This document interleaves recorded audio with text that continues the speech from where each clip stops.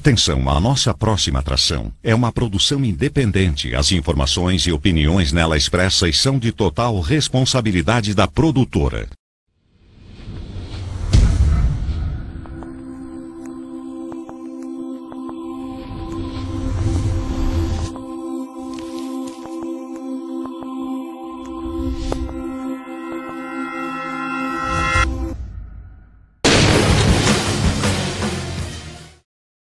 Hoje é dia de plantão policial, começando o seu noticiário semanal. Você ficando muito bem informado aqui pela TV Direta de Mococa. Confira os principais destaques dos trabalhos das polícias em toda a nossa região. Adolescente de 16 anos procurado pela justiça é apreendido com drogas e dinheiro na Vila Santa Rosa. Polícia Militar Rodoviária apreende 532 quilos de maconha em carro de São João da Boa Vista. Ônibus de trabalhadores rurais perde a roda e interdita vicinal na entrada do distrito de Garaí. Carro pega fogo após bater atrás de caminhão de piche na SP-340. E ainda, motorista aparentemente embriagado perde controle da direção e bate em árvore na Avenida Tiradentes. Nós estamos indo para um rápido intervalo mas a produção já vai me informando e já já estamos de volta.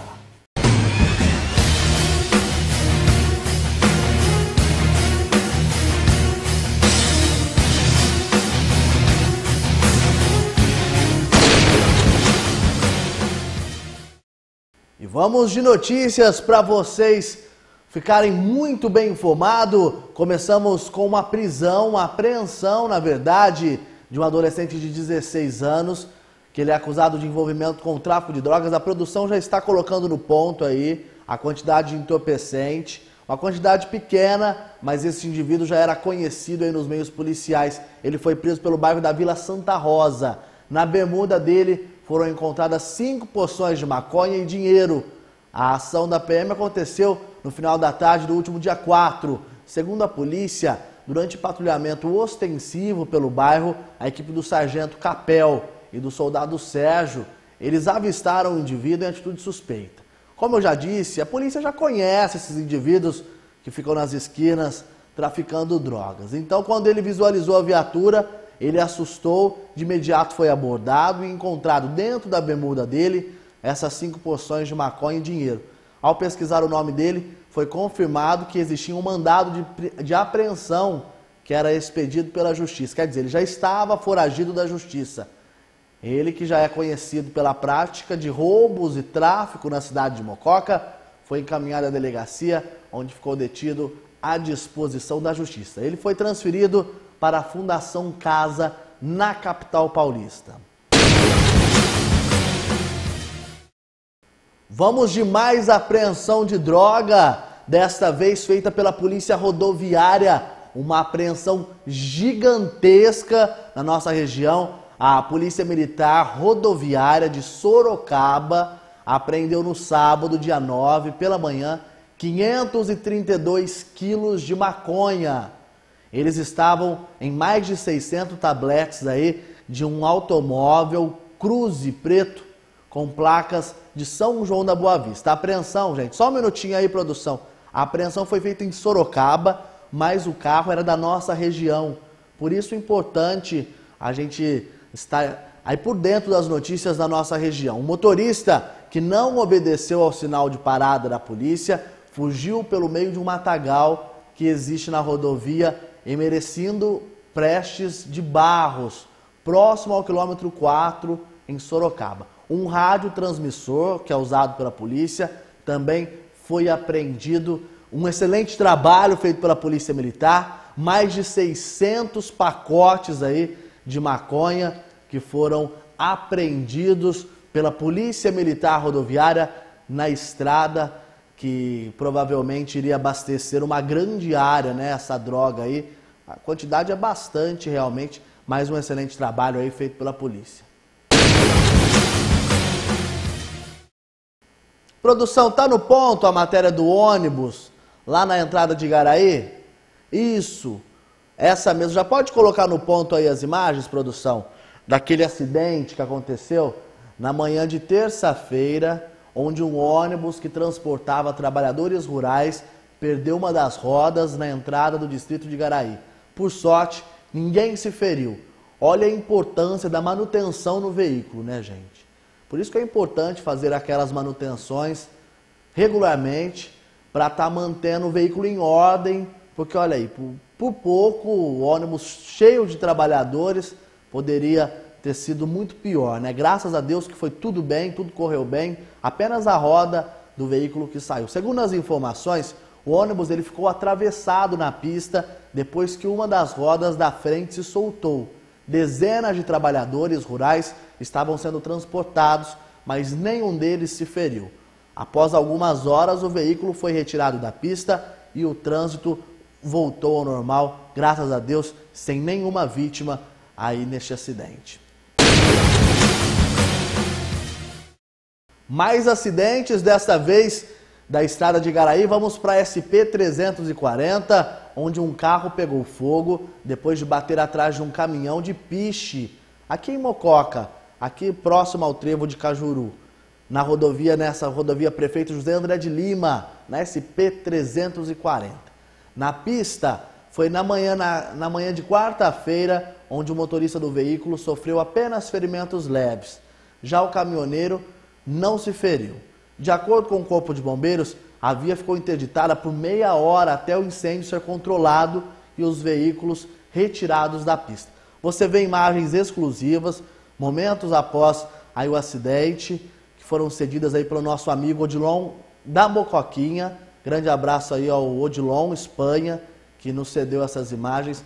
O motorista foi socorrido ao pronto-socorro da cidade, onde ele recebeu atendimento e as causas do acidente serão investigadas. O bombeiro informou que a colisão aconteceu próximo ao KM 270, 270.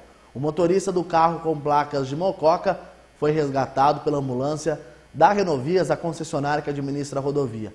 O pronto-socorro informou que o homem estava consciente e que o quadro dele era considerado estável, já foi liberado, passou por exames e graças a Deus ele também está bem. O motorista do caminhão, como já informamos, não se feriu, apenas o susto, como você vê nas imagens aí, o veículo ficou completamente destruído após o incêndio. Vamos falar agora de duas coisas que não combinam, né? Álcool e direção.